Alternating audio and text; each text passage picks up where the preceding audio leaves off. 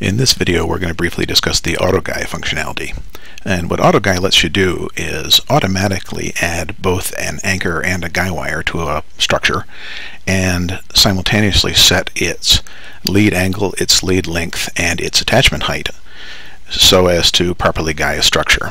So let's take a look at the first thing we need to do, which is to tell it what guy wire anchor assembly we want to use. So here in my catalog I have a, a single anchor with a down guy on it. I right click that and said I want that to be my AutoGuy assembly. Alright, now if we look at this pole, what we can see is that it's clearly deflected in this direction because it's not guyed at all. And what I do is I select the height at which I want guying to occur, and I tell it to perform an AutoGuy operation. It then pops up a window to allow me to set the lead length if I don't want to use the default lead length, but I'm perfectly happy with the default lead length, so I go ahead and say OK, and you'll see what it did was it automatically added it used the deflection of the pole to decide at what angle it should be setting the lead length.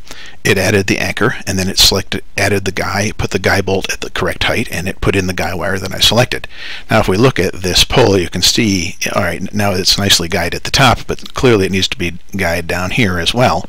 Well, with the anchor selected, what I can do is right-click on the pole again and say I want to add an extra guy, and now you'll, you'll see down to that same anchor, it adds an additional guy wire. And now we have a situation where it's going to pull the, bowl, the back in line if we wait a second. There we go. And I could add one in the com zone as well if I wish to.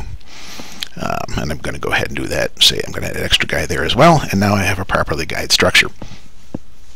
And if we wait for it to get done calculating, it's going to think about it for a second, and then it's going to pop up and say, yep, everything's nicely in line.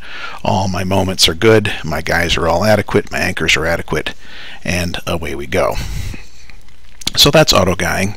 It's a fairly useful tool um, for doing initial guying uh, design for structures.